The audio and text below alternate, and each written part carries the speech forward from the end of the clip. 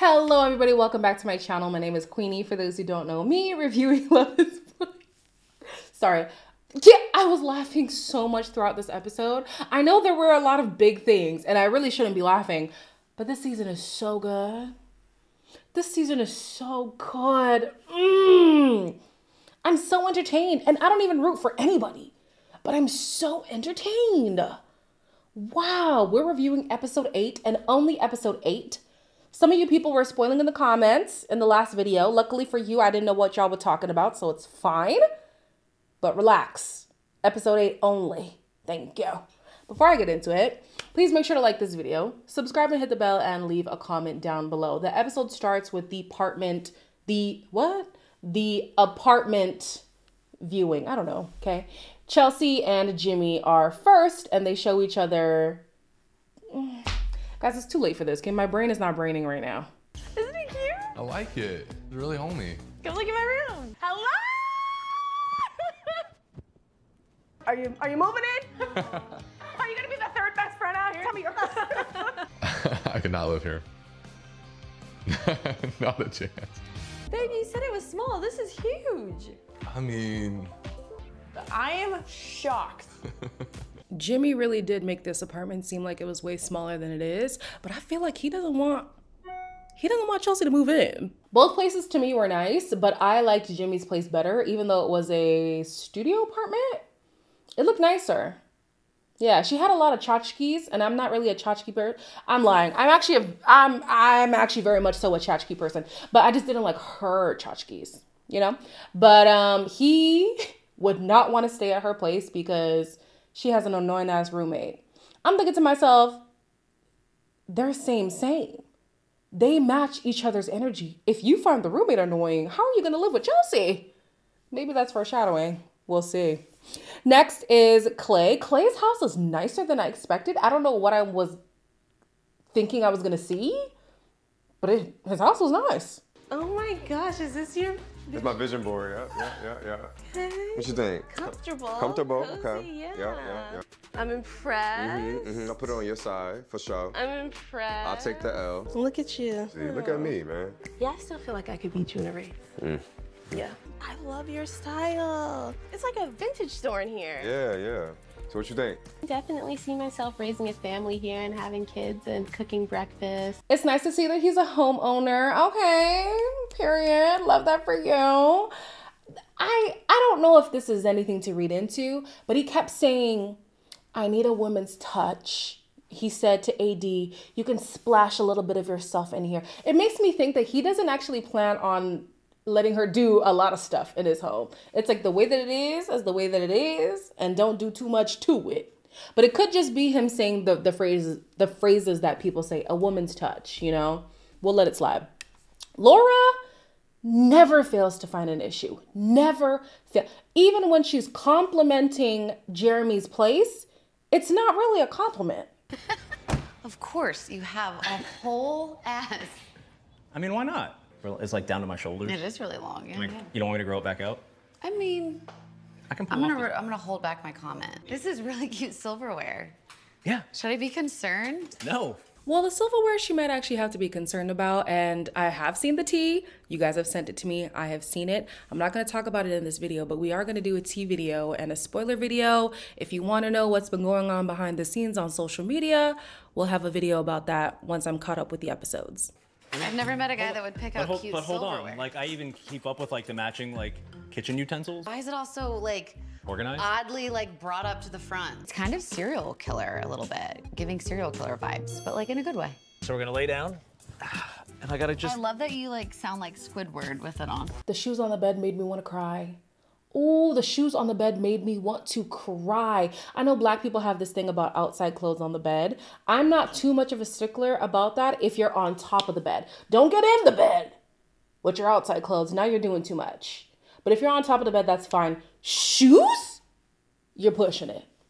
Shoes shoes is shoe, sh- ooh, shoes is where I draw the line. Get your shoes off the damn bed. Oh, so, as they're going through this apartment, Laura is so shocked at how pristine Jeremy's place is. But, girl, this is what he told you. He told you he's very meticulous. He told you he's OCD. He's he's a very cleanly man, and she's just so shocked by it. And she can't even just compliment him. She can't say, "Your place is so nice. I'm so impressed. Look at you." It has to be. You're kind of giving serial killer vibe, girl. Anything she must find an issue with. Are you not tired? This is exhausting. Kenneth shows his apartment, and this is where my alarm bells just started to ring for this man because why does it look like he just moved in last week? Baby, you need somebody to cook for you. Is there any? Okay, this is a little bit. Yeah. My spice cabinet. This is actually criminal. I'm sorry. Where's the adobo? Hmm? Where's the Old Bay? Where's the garlic salt? Where's the onion powder? Sir, where is the any seasoning salt? Anything. Anything. Forget all that. Even the salt. Where is the salt? So you seen everything. I like it. I'm impressed. Thank Yeah. you, babe. I kid you not. The way I would have grabbed that phone and just chucked it across the Oh, I'm I'm a t- li- me and this phone are chopping cheese. Okay? Chopping cheese. Not even gonna lie to you. But while I'm having a conversation with somebody, I'm not gonna be face planted into this phone. Especially somebody who I'm still trying to nurture a relationship. Well, well, well, well, hmm, yeah. If I was actually into somebody, you wouldn't see me fully immersed in my phone and not paying them much mind. So dismissive, Kenneth. Kenneth truly disappointed me this episode. Truly disappointed me. I did not expect this from him at all. And now I'm going back. Oh, this is what Leah meant. Oh, this is what Leah meant. I'm just clicking now. Um, when I said Kenneth was being performative, absolutely he was. Absolutely he was. Oh, he just I felt like Tyra Banks. I have never in my life yelled at a girl like this. I was rooting for you. We were all rooting for you. How dare you? Learn something from this. Brittany feels like Kenneth is down in the dumps a lot of the time, and it's very draining to be around that kind of energy. It reminds me, for the people who are watching Married at First Sight Australia, Tristan. I feel like Brittany and um, Cassandra are going through the same thing with these men, just draining to be with. And so he's saying, I need grace, I need grace. You know, I'm not always going to be chipper. Fine, you don't have to be chipper all the time, but you can at least be present. You can at least be in the moment. Oh, I was so I was so disappointed by Kenneth. And here I was here I was judging him at the beginning because of his age, but then he swore up and down, I'm mature, I'm so mature, I'm so mature. And I should have known because every time somebody makes it a point to broadcast something from the rooftops that they are something that um they're fighting against something that they've been told that they are and they're saying no that's not the case. I'm not that. This is how i am. This is how i am. It typically is an overcompensation. His 25 was 25ing today and why did one of y'all why why did one of y'all dm me this photo y'all are so y'all are so wrong for that wow disappointed in him anyways child I hope you guys know this is for like YouTube. It's not like I'm actually disappointed in the man like I know him. It really is not that deep. It's just uh I was rooting for you. We were all rooting for you. Anyways, um Miss Happy Go Lucky, she, you know, I know that I'm a happy go lucky person for the most part, but even she is exhausting to me. I'm like, does it ever turn off?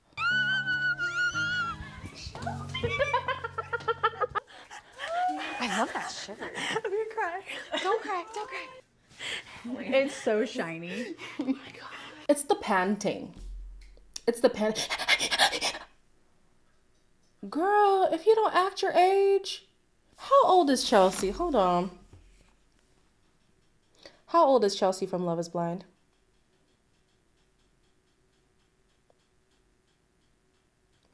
Um, why are you not showing me how old she is? Why are they showing me uh, Jessica? Don't tell me even when you search Chelsea, Jessica shows up. that is too funny. That is too funny. Um, she's 32. Let me not. You know what? Good on her for being a happy person. A lot of these people in this life could use some of her joy.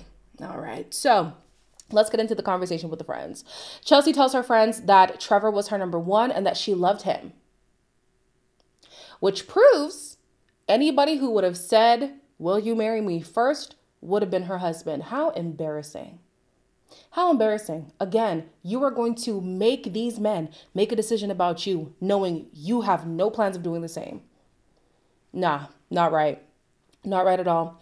Jimmy has a phone issue as well but it might be worse than a old boy because apparently he's always on his phone and he had seen a picture of jessica and since he saw the picture his tone has changed he hasn't been as affectionate anymore chelsea thinks that he's now having regrets about his choice interesting so um, she says that he's been disconnected, but when he joins the group, she says that he's the best communicator ever. He always speaks his feelings. He always speaks his mind. He hasn't kissed me once today. What? Mm-hmm. What? We've had one. We've had one argument. One. One. I will say sorry hundred percent of the time if you can understand where I'm at. He communicates so stinking well. I'm like, mm, does Chelsea, is Chelsea a people pleaser? Yeah. Is Chelsea a people pleaser? Because in the pause, it's like she didn't want to say anything because she didn't want to hurt somebody's feelings. Now on the outside, she doesn't want to actually be honest with Jimmy about where things stand. She's here boosting him up. But girl, you're just you're just people pleasing because you know he's not that great of a communicator because you're about to complain about it as soon as your friends leave. Hmm, interesting. Interesting. He tells the friends that he was down about the breakup. However, Chelsea really picked him up. And, you know, despite dis- ooh, despite her insecurities, she is his type, allegedly, and she is perfect. Mm. Okay. All right. Moving on, Johnny learns that Crystal, not Crystal, Johnny learns that Amy is a crystal girl, and he learns a few other things too. Is that a bad thing? Throw the flag. I love my crystals. There's no shame about it, and you're gonna like it too. Do you want to live like frugally as possible, put as much money away, like cutting back on certain things? Like I could definitely get to that. I'm more about like living in the present, enjoying what you have, like you know, living it up while you can. The next big jump for, for us really right now would be like to buy a house. Yeah, yeah, yeah. But not to like support a child too. Yeah, it would be a lot, Mhm. but like we still would have a home and like Yeah. we would. I don't want that period. Y'all, why did I think all this time they were having sex? How did I, how, okay, so when she said, hold on. When she kept saying our physical connection is what I thought it would be, is it just them being in each other's presence? I, I thought I thought that was implying sex, but it wasn't. They're not they're not doing it nasty. Interesting. So, anyways, excuse me. Um, it is no wonder why these two feel like things are too good to be true. They haven't talked about a lot of things. Or if they have talked about it, it's just been on the surface. They have not dug deep. One, he's not even into the crystal girlies. Two, they have different financial plans for their life. So she is a instant gratification while he's a delayed gratification. He's more about saving, wanting to retire young and all that stuff. She's about living in the moment, exploring, doing all those things cuz life is short. And it is, but um life is also long. And you want to make sure that you have the funds to survive, okay? They also have a difference of opinion on what would happen if they had a baby early he is not here for an oops baby whatsoever. And she says that she wants to wait five years to have a child, but her expression, her face is not reflecting that. Not at all. Not at all. So I understand her hesitation on the whole, not wanting to take birth control. I do get it, but they're going to have to come to some agreement about their family planning. If you're not going to take birth control or the patch or have an IUD, he's either always going to have to wrap it up or get that snippety snip snip. He's going to have to do something. Y'all are gonna have to do something. So they say that they're not gonna get married until they come to a decision about birth control. I think that's a good idea. Apparently, I've never heard this before. Birth control would actually work in her favor because of different health issues that she had. I think she said she's anemic. Did she say PCOS? I might be stretching with that one. But she said she had some sort of ailments, and her physician already told her that birth control actually would be good for her. But her own concerns are keeping her from wanting to do that. Honestly, I totally understand. The adverse effects of birth control, like I said in the last video, I've heard the stories. Not pleasant for a lot of people. So, yeah, y'all got to come to some agreement. Wrap it up, sir. Yeah, because imagine if they have an oops baby and then they resent each other because she's okay with raising an oops baby. He's not okay with it. It's going to cause tension. Whew, iron that one out, y'all. So Brittany has a bone to pick with Kenneth. wow. And um, this man is living as if he is a single man. Let's talk about you waking me up last night. Let's let's speak on that. I did wake you up. Correct. When I had to get up at 5 a.m. in the morning. You did. Went to get my hair twisted. I went to go see my mentor. And I called you between each transition. I just don't want one day of me getting home late. It's not. There are times where I am trying to be affectionate to you, and you may feel like you don't want it at the moment. We're gonna sit here for a little bit with Brittany and Kenneth, okay? So, um, let me find out. Kenneth is a Jared 2.0. Let me find out. This man came back in the middle of the night, knowing his fiance has to be up early in the morning, presumably for work. He wakes her up. Apparently, he wants to get, you know, get physical, not sex, but get physical. And I don't even know what they mean by that because according to Brittany, they haven't even made out. They haven't even made out. What do y'all do? She's obviously not in the mood. He's now taking this out on her, saying, oh, whenever I'm in the mood, you don't want to be physical with me, but you have to give me grace because sometimes I'm not going to be in the mood for when you want to be physical. It's late in the night. You know she has to be up early. This is what you're using? This is what you're using. Oh my gosh, the 25 was 25ing you guys. It truly was 25ing. So this man keeps saying, You have to give me grace, you have to give me grace. Grace for what? Truly, grace for what? She's very frustrated because she's like, I know that we agreed to not have sex, but I would at least want the temptation to be there. And I feel like you don't crave me. Whew. You don't crave me. The way that would have broke my heart, truly, it would have broke my heart. And so he's going to say, Well, you're talking about you. You're referring to yourself because I feel like what did he say? I feel like I crave you or you crave me, something like that. He's basically saying, You're calling me a subpar husband, but I'm not calling you a subpar wife, so that's not fair to me. You need to give me grace because sometimes I'm just not going to be in the mood. Same way you weren't in the mood last night. Again, she was sleeping. He woke her up. He came in the middle of the night. Apparently, he went to meet up with a mentor or something, and then this man was talking about he was getting his hair twisted in the middle of the night. So he wasn't at a salon. We can tell you, we, we, we can confirm that. Where were you at? Who are you always texting in your phone? Hmm? Doesn't he have a homegirl that he's really close to? Were you at her house? Was she twisting your hair? You see, I'm an overthinker. I'm thinking about all these things. Who was twisting your hair? Who was up in your head? Hmm? Who was it? Why are you coming in late in the night? She starts to cry. This man pays her no mind. He's on his phone while she's bawling. What I'm hearing from you in this moment is the caliber of a man that you are is what I need, but I don't feel X, Y, and Z for you. That's not enough for us to be like, we'll, we'll work it out. Oh, that's not enough. I know I keep interjecting, but I'm just I'm just realizing a, a few different things. One, his communication is great. I will not take that away from him. But even with such good communication, his empathy non-existent. Maybe non-existent is, is is pushing it, but his empathy for Brittany specifically in this moment was piss poor. And on top of that, he's now saying, because you don't see me as the kind of person who you would want to be with, this is not something we can work through. And I guess we should just end things. How did he manage to flip it on her? How did he do that? How did, and look at his face. He don't even care. He just flipped that thing. Oh, he put it down, flipped it, and reversed it, y'all. He put it down, flipped it, and reversed it. Spiritually, what it's supposed to be for me will be. Yeah. If it's not there for you and I, He's gonna prepare me for that, prepare you for that, and us for that. I know God is out here looking at himself like, now why am I in this? Why?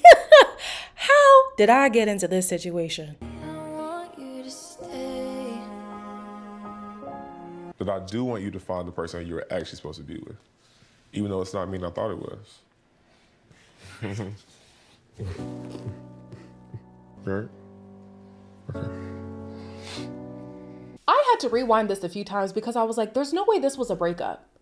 He was so cold and distant. I was thinking, there's no way this was a break. He did not just break up with her. What?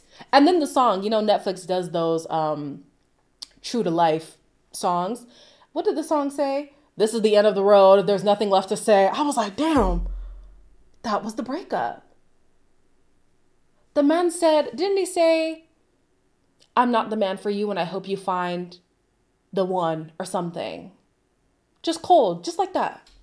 Just like that.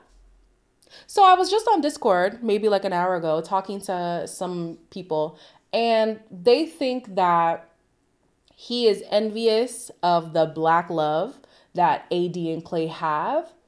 And then someone in the comments of the last video was saying if he was going to be this stuck on race, he should have never come on a show where it wasn't going to be a guarantee that he would marry a black woman. And I agree.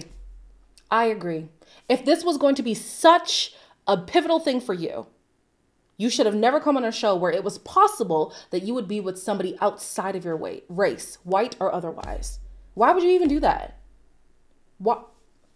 Now this girl's out here falling for you, talking about love you. She's concerned about, you know, how am I going to meld into your family and stuff like that. And you have no plans of being with her at all. Somebody else in the comments said you saw the attraction depreciate from the time that they met each other. I missed it.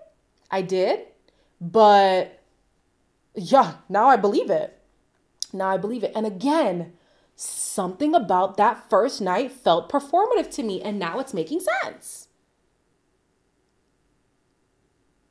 Kenneth. Didn't I call him my little brother? No, he's out of the family. He's out. He's out. We need somebody else. So, Chelsea, who's been raving about Jimmy being such a great communicator, now has all these complaints about how distant and disconnected he is from her. Today I was worried about you, babe. You had me really worried. And you kept saying, oh, my, oh, my lip hurts really bad. Well, it does hurt really. bad. I want you to be like, hey, babe, how are your eyebrows? Yeah. And I didn't really get that from you. So coming up to me and like grabbing my face and kissing me, telling me I'm pretty, you're like, you didn't kiss me one time today. Oh my goodness. I'll work on kissing you a little bit more. No, babe, that's not it. I just like, ugh. I hear everything that she's saying. And as a clingy girl too, she hasn't been called clingy yet. That's gonna be a separate, a separate little section that we're gonna talk about. As a clingy girl too, I feel everything that she's saying. But because she is whiny, I can't side with her. I really cannot. So she has an issue with the fact that he hasn't told her he loved her enough times today. He hasn't kissed her enough times today. He hasn't touched her enough times today. Um, his excuse is piss poor. Piss poor. He's like, oh, I woke up early today. I had work all day. I'm so busy. And then it was, I bit my lips so hard I can barely even talk right now. It's just so hard for me to talk right now. I bit my lip, Chelsea. I bit it. Okay. Apparently, um, he saw Jessica's picture earlier that day, and so Chelsea is thinking he saw the picture, he has regrets, now he's pulling away from me. Um, could very well be true. The fact that he even referred to her as a Kardashian and he refuses to believe that Miss Girl looks like Miss Fox, um, I could see that. Realistically, this man has been emotionally constipated from the pods. And I don't know why these women don't want to ask questions. I don't know why these I don't know why people in general don't want to ask more questions when they feel like something is off from the pods.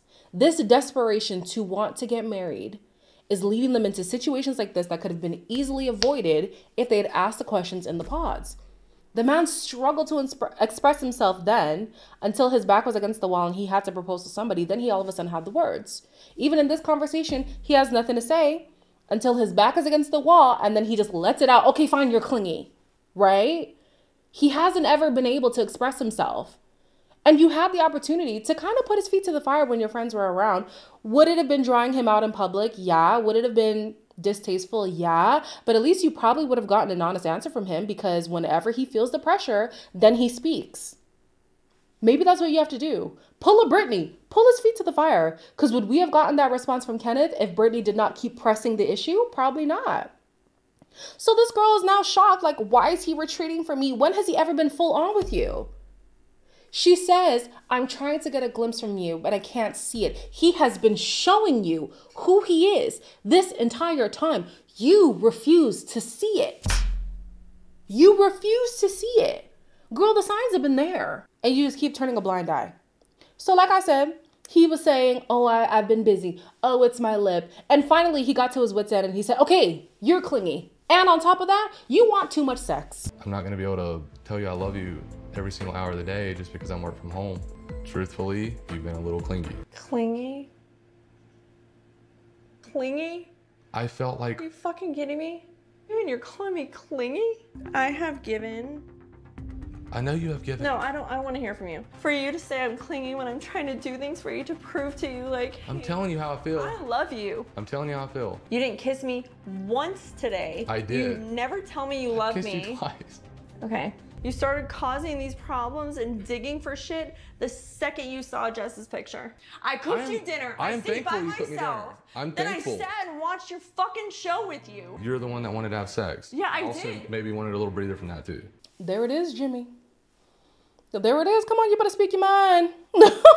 you better speak your mind. Now, of course, there are men who are lower desire than their women. It happens. But if my man looked me in the eye and said, You want too much sex for me, we need to cool off, you hate me. You hate me. Why don't you why don't you want to take me down? Huh? You hate me. What? In the honeymoon phase, he's already like, it's too much. It's too much. You're overdoing it. The kissing and the, the saying I love you and all that stuff, I get it. But rarely do you see a man be like, you desire me too much. Chill out. Whew, the way I would die. So she then had the audacity to say that he's the one looking for issues. I said, he is?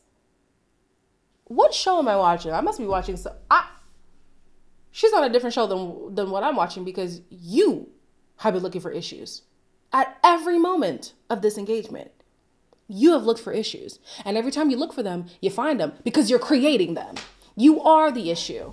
Okay? My brother loves to quote this thing from Shrek. Apparently, somebody in the movie was asking to have their problems removed and then they disappeared. That is what would happen to Chelsea. That that is absolutely what would happen to Chelsea. Chelsea would disappear the moment she asked for her problems to disappear. She is insufferable. Okay, that's it. He said she's clingy. She really took offense to that. Um, you are, you are, and the huffing and the puffing and the panting, girl. It's it's childish. It's weird. I mean, sure, if that's your quirk, that's fine, but I don't know. I feel like she's doing too much. The episode ends with um, Miss Jessica. Jessica meets up with Laura. Apparently, there's some social media something something that's been going down with uh, Jimmy. She was like, So, are we getting married? Or. And she was like, He fell in love with someone else and it wasn't you? Is he well? He sends me a friend request and I see it come through immediately and I'm like, So I'm like, Ooh, you must be thinking about me. You're not repulsed by it. No. Okay. I have dreams often about like conversations we had and like plans we made. Jimmy's a man. And like we knew without seeing each other that the attraction was there. It's gonna be like dangling temptation like right in front of his face. It's the truth and you know it is. So we, b- before we even get into Jimmy, let's talk about Jeremy. Sarah Ann sent Jeremy a message saying, "Hey, if you're still on the fence, we could talk about it." He didn't say anything to it, but he did uh, double tap that message. He He did like it. So he's communicating with her without actually saying anything. Laura, her strict nature, it's really showing because why is she already going through this man's phone? She said she saw it in his phone, took a picture, and then um, is now showing Jessica. Already, you distrust this man? Already. Already. There's still 20 days left to the wedding. You already don't trust them? Madness. So, um, she has concerns that he wants to reignite things with Sarah Ann. And even though there wasn't a message from him, she's wondering how Sarah Ann felt so comfortable to send a message like that. He must have given her the idea that the door is still open. Interesting. With Jimmy and Jessica, he sent a friend request she didn't respond to it, and then hours later, he removed the friend request. His page is open, her page was not. He then privated his page after, but she already saw what he looked like. She claims she's still into him. She claims she still loves him, and you can't just stop loving somebody based on the connection that they had. I don't. Listen, I, am not gonna judge. You like who you like. I even look back at some people who I've been interested in, and my friends would question me like, "Girl, did you really like him?" I really did. Whew, I really did. Yeah, she says even if he looked like, you know, um, Lord Farquaad, since we're on the Shrek train, she'd still be with it. All right, sure. Um, Jessica says that she's not over Jimmy and she's po- she's positive that he would have a hard time resisting her. So I think she's gonna play into this whole you're gonna choke thing. She's definitely gonna flaunt her beauty. She's gonna dangle it around his uh, head. I don't know why you would want to do that. I don't know. What is it about Jimmy, guys? At this point, maybe he really is packing because I'm not getting the hype. I'm not getting it. I'm not getting it. Girl, are you sure? You really want Jimmy? For real? Anyways, I guess we'll see how episode 9 goes. Episode 8 was so good. Ooh, it was so good, so chaotic, and it brought up so much emotion out of me. I loved it. Where were AD and Clay though? We didn't see enough of them. And I want to see AD's apartment. I felt like it was going to be so cute. Anyways, like, comment, share, and subscribe as always, and I'll see you in the next one.